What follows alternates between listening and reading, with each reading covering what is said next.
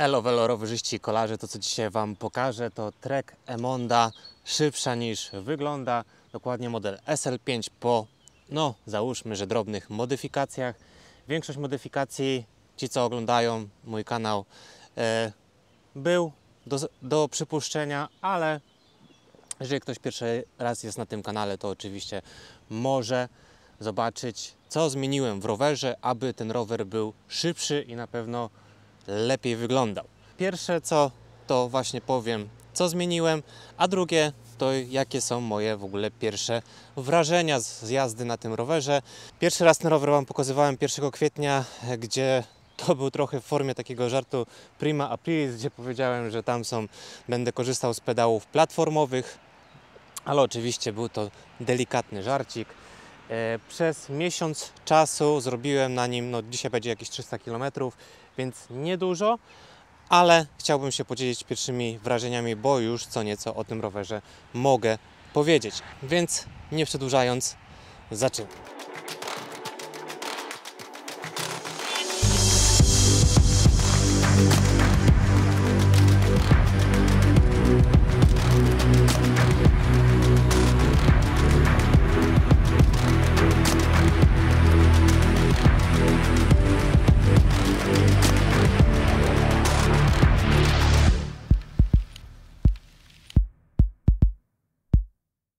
Jedna z ważniejszych dla mnie zawsze zmian to oczywiście e, rotacja, czyli koła i opony. E, wiecie, że jestem zwolennikiem marki Pirelli, ale tym razem postawiłem na Wolfpacki Race 2 e, z, z wkładeczką powiedzmy jakąś tam antyprzybiciową Togward oraz koła Aeolus Pro 51. Te koła już miałem wcześniej, używałem przez ostatni czas głównie w Meridzie Silex, e, aby po prostu no, był lepszy wygląd i na pewno lepsze osiągi. E, Merida Silex to rower gravelowy, gdzie te koła, te koła są tak naprawdę typowo szosowe, ale one są bardzo, bardzo wytrzymałe, więc nie dziwię się, że producent daje na nie dożywotnią gwarancję. E, dwa lata na rozbicia e, i wtedy przez te dwa lata Was nic kompletnie nie interesuje i możecie sobie z nimi robić co chcecie, a po tych dwóch latach jakby coś się stało z tymi kołami, no to są one robione po kosztach. Generalnie taka, taki zabieg podobny już ma większość producentów, aby zachęcić troszeczkę do kół karbonowych, bo co niektórzy się boją, że e, takie koła mogą się szybko zniszczyć, ale nie, bo ja używałem ich gravelowo, a teraz używam ich z powrotem szosowo. E, opony Wolfpack Race 2 postawiłem z tego powodu, że Pirelli ogólnie bardzo fajne oponki, dobrze mi się sprawdzają, ale mają jeden minus, który no nie wiem do końca, czy, czy jest to faktycznie tak, że opony Pirelli bardzo słabo radzą sobie z nawierzchnią, z nawierzchnią mokrą. E, ja sam też miałem wypadek na tych oponach i poleciałem e, na, na zakręcie, jakbym jechał po lodzie i nie wiem, czy to po prostu był efekt świeżej opony, czy to był po prostu efekt tego, że one tak po prostu mają. Tutaj akurat producent chwali się tym, że na pewno one są właśnie fajnie przyczepne na zakrętach. Widać tutaj jakiś tam bieżnik, więc może faktycznie lepiej to będzie odprowadzać wodę, a przy okazji lepiej się trzymać w zakrętach bocznych. Zobaczymy z czasem trochę może gdzieś tam się zaryzykuje i zobaczymy jak one się sprawdzają. Waga ich wedle producenta jest podane 210 gramów, więc wydawałoby się, że jest ok w tym budżecie, bo to jest 249 zł, czyli podobnie jak Pirelli, ale jeżeli jak sprawdziłem sobie to fizycznie, niestety to jest w granicach 230-240, czyli to już dosyć spora różnica, ale myślę, że do samej jazdy nie jest to aż tak mocno odczuwalne. Bardzo fajnie układa się balonik, więc można zauważyć, jak tu mniej więcej jest styk tej opony. E, widzicie czarny wentyl i tutaj pewnie byście myśleli, że to też jest e, ultra lekka dentka TPU czy tam poliuretanowa. Nigdy nie mogę sobie zapamiętać, jak to się dokładnie tam wymawia, jak to się dokładnie nazywa. Czyli w Pirelli to są takie żółte denteczki, E, a tutaj są takie różowe bądź morelowe, bo to są chińskie dętki, które kupiłem na AliExpress dwie sztuki za całe 55 zł. Przyszły one w miarę szybko i zważyłem je. Powiem Wam szczerze, że jestem w szoku, bo waga tych dentek to jest 24 gramy, a Pirelli na przykład podaje, że ma 35, z czego efektywnie, jak kiedyś chyba zważyłem, to było nawet 39 albo 41, więc na plus na tych dentek, więc zobaczymy jak będzie z ich wytrzymałością. No to tyle, jeżeli chodzi e, o rotację. Na razie w kokpicie nic nie zmieniałem. Jedyne co zmieniłem, ale to chyba zmieniłem od samego początku, czyli klameczki dałem bardziej do wewnątrz, po to, że po prostu jak chwytamy kierownicę, to automatycznie ta szerokość, która tutaj chyba jest 44 cm albo 40, 42 cm, to ona nam się jeszcze troszeczkę zawęża i ten chwyt według mnie, jeżeli trzymamy to w miarę tak prosto, jest bardziej taki ergonomiczny, bardziej wygodny. Też jest fajniejszy na przykład, żeby e, pojechać coś ala w stylu lemontki, więc dla mnie akurat ten chwyt jest naprawdę na plus, o ile nie wyginamy łokci na zewnątrz, bo to wtedy nie jest na plus. Co dzisiaj zauważyłem w ogóle, to jest seryjnie zamontowana e, kierownica i, i chwyty. I zobaczcie w ogóle, jakie to jest wybruszenie. Taki jakby offset idzie do góry i tu się tak zawęża. Wydaje mi się, że kierownica powinna iść bardziej tak na wprost, ale no generalnie póki co nie mam z tym jakichś problemów, przez to staje się ten rower trochę bardziej wygodny. Co do podkładek, na razie daję tutaj mm, wszystkie na górę, bo i tak mam dosyć duży stosunek różnicy e, siodełka do, do kierownicy, więc na razie tak to pozostaje. E, co do wyginającej się rury sterowej, e, której wspominałem na początku, to też nie był żart primarpolisowy, ten rower tak faktycznie ma i zgłaszałem to do Treka, bo trochę mi się to nie podobało, trochę mi się to niepokoiło i stwierdzili, że ten model tak ma i że proszę tak nie robić, bo to nie jest normalne dla tego typu roweru. Trochę mnie zszokowało to, co napisali i odniosłem się do tego, że według mnie e, mm, generalnie coś takiego to nie jest normalne, bo posiadałem już nie jeden rower szosowy i w żadnym e, z nich tak nie było. Czy to było Vento 2.0 z, nie wiem, z 2013 roku, czy to był Merida Skulptura, ta starsza na szczękach, czy nowsza na e, czy nowsza już na hamulcach tarczowych. Żaden rower tak nie miał. Nawet Merida Skulptura Endurance, która jest rowerem endurance'owym i nic mi nie odpisali. Nic mi nie odpisali. E, Napisałem też dodatkowo, że przy sprincie dochodzi do jeszcze bardziej większych przeciążeń, e, kręcąc ponad 1000 watów. A w momencie na przykład jak e, bierzemy udział w wyścigu szosowym i z reguły na samym końcu na mecie i jest taki pomiar czasu na podłożu, to tam z reguły trzeba go przeskoczyć, więc tam też dochodzi do takich przeciążeń, więc według mnie nie jest to coś normalnego, ale ten model niestety tak ma, bo ostatnio u nas na serwisie też trafił taki rower do takiego ogólnego przeglądu i do wymiany owijki i sprawdziłem sobie w nim. Ja go sam osobiście sprzedawałem chyba ze dwa lata temu i ten rower też tak ma, tylko że on ma troszeczkę mniej, a z tego względu, że ja mam rozmiar 58, a tam była chyba 56, więc 56 ma automatycznie e, niższą e, główkę i krótszy mostek, więc ta dźwignia też jest troszeczkę inna. E, I z racji tego, że tutaj jest powiedzmy przestrzeń w środku, bo te kable gdzieś trzeba poukładać, to po prostu ta rura w środku się wygina. To jest tam mniej więcej tak samo jak przy e, sztycy podsiodłowej, jeżeli jest karbonowa, to też ona się po prostu wygina. I ten model tak ma. Stety, niestety, bo można by powiedzieć, że to jest coś w stylu systemu ISOSpeed, który występował, tak, występował, bo już nie występuje chyba w domankach.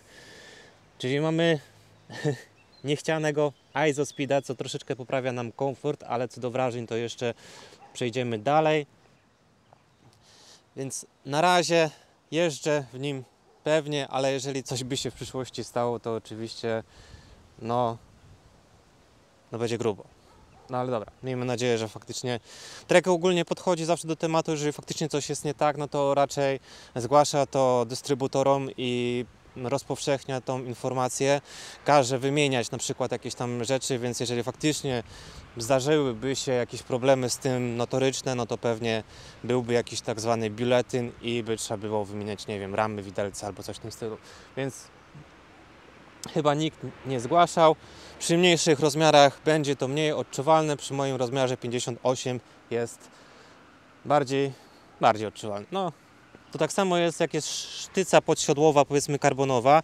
Jeżeli ona będzie wystawać tylko tyle, no to ona nie będzie za bardzo pracować, tak? Ale jeżeli ktoś ma długie nogi, to ona będzie bardziej wyciągnięta i oczywiście wtedy ta sztyca będzie bardziej pracować. Dobra, a propos jak już jesteśmy sztycy, no to zmieniłem w ostatnim czasie też siodełko z powrotem na speca Powera.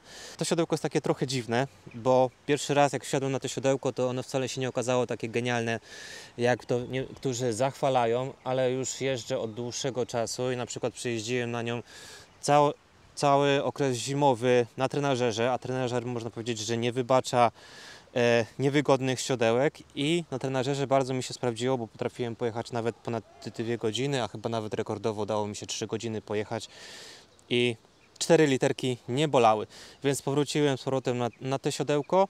I tutaj jedna bardzo cenna uwaga, bo na początku wydawało mi się, że jest mi na tym rowerze bardzo wygodnie, ale okazało się, że po prostu siodełko mi się zaczęło przesuwać i skrzeczeć, więc jeżeli ktoś ma tego typu maszt, to tutaj są tak naprawdę dwie śrubki, które trzeba odpowiednio dokręcić. Tu jest ta standardowa, którą dokręcałem, ale jeszcze tu jest ta boczna. I ta, ta boczna nie była do końca dokręcona i ono mi, to siodełko zaczęło trzeszczeć i się przesuwać. Więc to, co wspominałem na początku, że te maszty lubią trzeszczeć, no póki co stwierdzam, że to nie wina masztu, tylko wina właśnie tutaj tego jarzemka, że jeżeli ktoś odpowiednio tego nie dokręci, no to może mieć właśnie z tym problem. Jedno jeszcze z takich ważniejszych zmian, no to jest mechanizm korbowy. Tutaj jest zmieniony z 50-34 na 52-36, bo noga w tym roku mocna, więc wypadałoby, żeby e, mechanizm korbowy też był troszeczkę o większym zakresie, na wyższych prędkościach. I przy okazji jest założony podwójny pomiar mocy InPeak Twin. Dwójeczka, gdzie mierzy mi moc z prawej jak i z lewej nogi ale o tym mechanizmie korbowym, o tym pomiarze mocy już wspominałem w innym filmie, więc jeżeli byście byli ciekaw, to oczywiście możecie sobie go odszukać na moim kanale. I to tyle póki co ze zmian. Jadę dalej. Na razie jechałem sobie pod wiatr, gdzie uzyskałem średnią 29,9, czyli prawie 30 km na godzinę, więc ładnie, ładnie. Jakoś to tam się kręci dzisiaj noga. Staram się jechać nie za mocno. Teraz będzie z wiatrem, więc zobaczymy, czy faktycznie ten wiatr się odpowiednio ułożył. Średnie waty, jakie uzyskałem dzisiaj, to 240, średnie ten to 141. Póki co temperatura 9,4. Ta temperatura jest w miarę, mi się wydaje, adekwatna. Ogólnie yy, tak, zamontowany licznik rowerowy nie powinien być, bo licznik musi być zamontowany tutaj bardziej tak aero, e, nie żeby tak odstawał, bo tracimy po prostu waty i to też nie, nieładnie wygląda, e, ale za niedługo wpada tu też nowy licznik, więc będę testował IGP Sporta BSC 300 oraz coś też nowego. Niestety z Łachu się żegnam na jakiś czas ale na jak długo to też zobaczymy. Nie, nie jest powiedziane, że do niego nie wrócę. To tyle ze zmian. Jeżeli macie jakieś pytania odnośnie tych tutaj komponentów, to oczywiście pytajcie.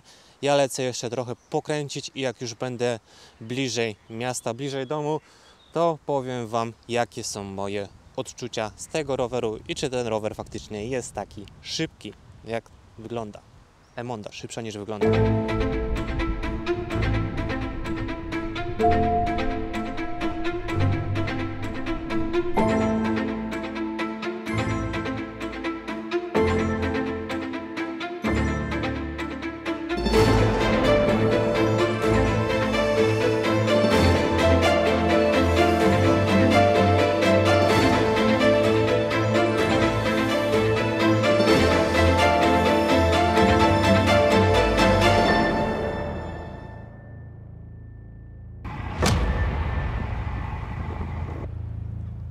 Ok, stówka pokręcona, udało się to wykręcić w 3 godziny, średnia 33,4. Sprawdźmy sobie średnie waty, jakie udało się uzyskać. To jest 240 przy 143 uderzeniach, więc spoko. Temperatura powoli rośnie, zaczyna się robić ciepło. ale pogoda jest ostatnio zdradliwa, więc wolałem się ubrać trochę cieplej niż miałbym zmarznąć, bo nie chcę ryzykować w tym momencie jakąkolwiek chorobą. Tu a propos jeszcze zmian e, wspomnę, że zmieniając siodełko, profil od e, prętów do wyższej części siodełka zmienił się o 2 cm, więc musiałem jeszcze podnieść na sztycy o 2 cm i się okazuje, że tutaj już jest na maksimum możliwości, więc wyżej już teoretycznie się nie da. Przy mojej nodze 92 przekrok jest to praktycznie maksymalny wymiar przy dłuższym maście, bo tutaj jest maszt 17,5 cm i to już jest dłuższa wersja, więc jeżeli ktoś jest wysoki i ma nogę powyżej 92 cm, no to będzie musiał niestety wziąć rozmiar większy. Myślę, że to jest bardzo przydatna informacja dla kogoś, kto się przymierza do roweru tego typu. Ten masz taki trochę mi się wydaje, że przekombinowany. Opcja, opcja z normalnym, z normalną sztycą jest według mnie lepsza. No ale cóż, no taki tutaj jest wynalazek. Przejdźmy w ogóle do podsumowania wrażeń. O, poczekajcie, przekręcę korbę, żeby ładnie to wyglądało. Dobra, tak, tak powinno być. Dobra.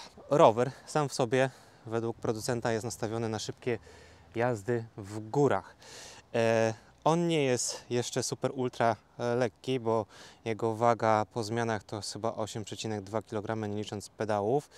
E, Chyba coś troszeczkę odeszło jeszcze po zmianie siodełka, ale to będzie jakieś tam 100 gram. M, Żeby zejść poniżej chyba 8 kg, to wypadałoby zmienić tą sztycę z aluminiowej, czy ten maszt z aluminiowej na karbonową.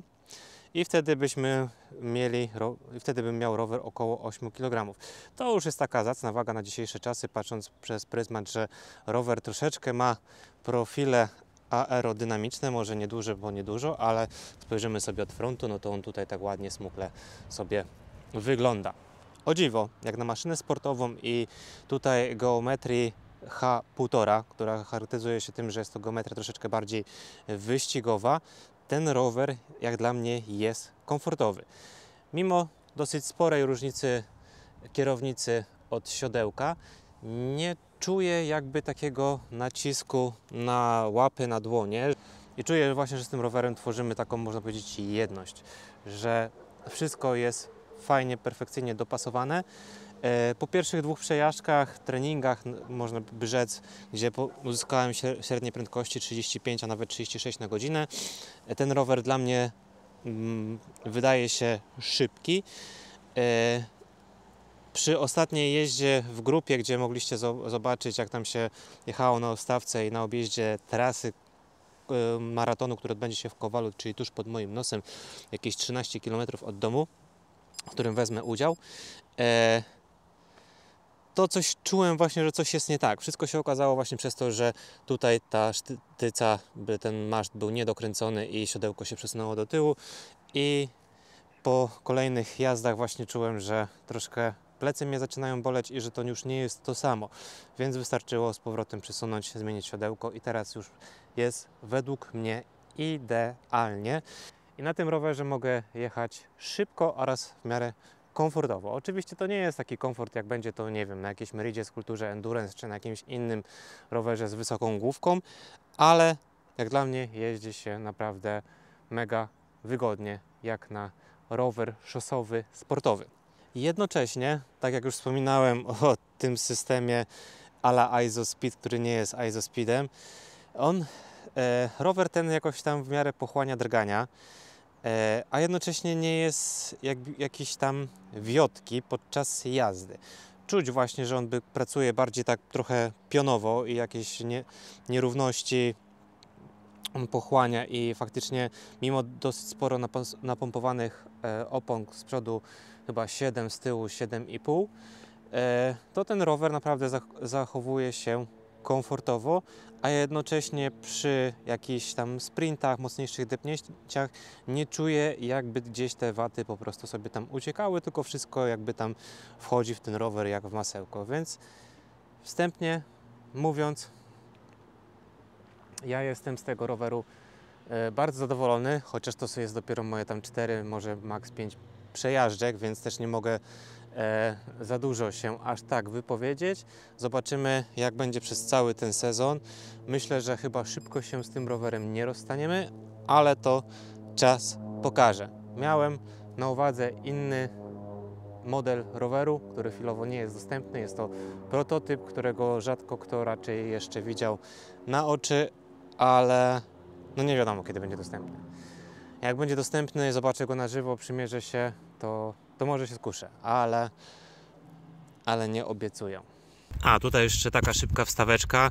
Jeżeli ktoś by pytał o te bidony z Vinci Willis, to dostałem je w gratisie do kół i powiem szczerze, że te, że te bidony są jak dla mnie no średnie.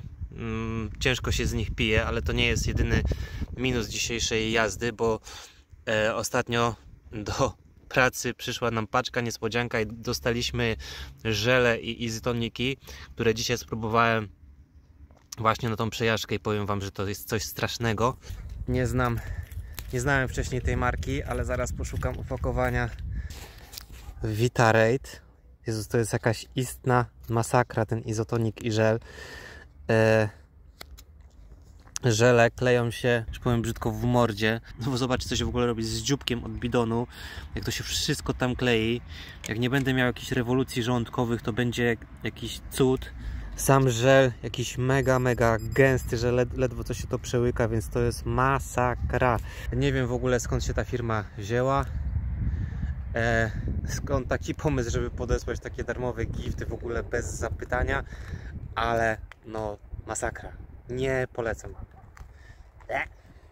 No cóż, noga jest. Dzisiaj jechałem przez większość trasy ponad 250 watów e, i kręciło się jak dla mnie w miarę lekko. Nie czuję jakiegoś tam większego zmęczenia. Myślę, że jeszcze trochę mógłbym w tym tempie dzisiaj pojeździć, więc wypocząłem po ostatnich wyczynach w górach na Lajkoniku. I co? Trzeba się wzi- wziąć do pracy, dalej szlifować formę i dbać o to, żeby nie przesadzić, bo to też jest bardzo, bardzo ważne. Pamiętajcie, że wszystko można robić, ale ćwiczyć trzeba, a odpoczynek i regeneracja też są bardzo ważne. A jak chcecie oglądać więcej moich odcinków, to pamiętajcie sub, łapać dzwonek. Do zobaczenia w następnym odcinku. Trzymajcie się, piąteczka i piszcie w komentarzach, co wy sądzicie o tym rowerze. Nara.